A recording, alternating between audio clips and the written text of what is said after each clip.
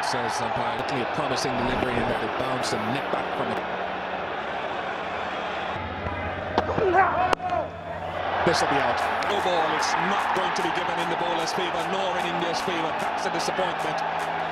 Supporters in the crowd will enjoy it as much as... Oh, that... Caught off a no ball a moment ago. Will this one be taken? It's taken.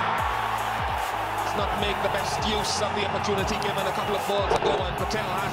And Dravid, the man who took the catch finally. Patel on his return to its just reward. 76 for one, Prior going for third.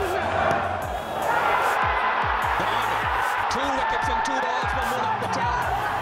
And they're struck. Zaheer gap there. And after a very good start, England in trouble. Alastair Cook is gone. Well, this man's got real pace. He's got real... Everybody what India have been missing, to be honest, throughout the summer. This is a special cricketer.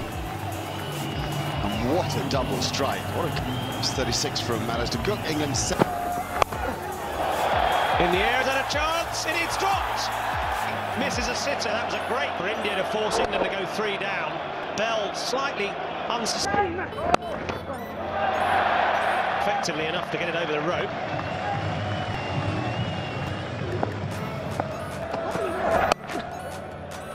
Good timing.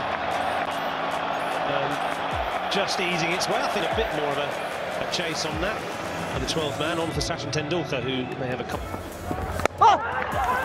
Dropped. Pietersen is dropped. And uh, as... Ch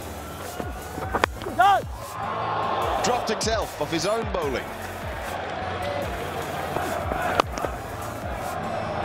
You play it better. Ian Bell in excellent the other day. He's 24 now. So quickly. Now he's yet to...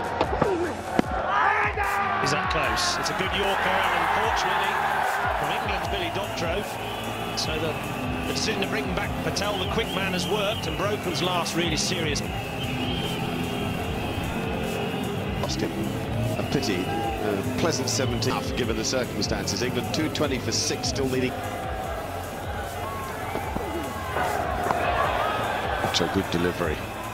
Smile on Munaf Patel's face, partly because he's getting some luck. 55 needed. Surely too much for England.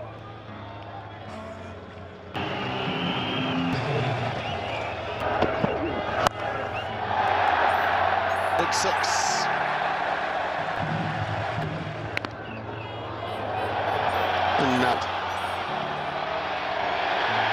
Really? Well, huge aspirations. Lesson to England about just how close you can. Bravo! Extraordinary to think that England might well end up just two hits of the game. Excellent stuff from here in Bristol. Performance and taken four wickets. The margin of victory, nine runs. India have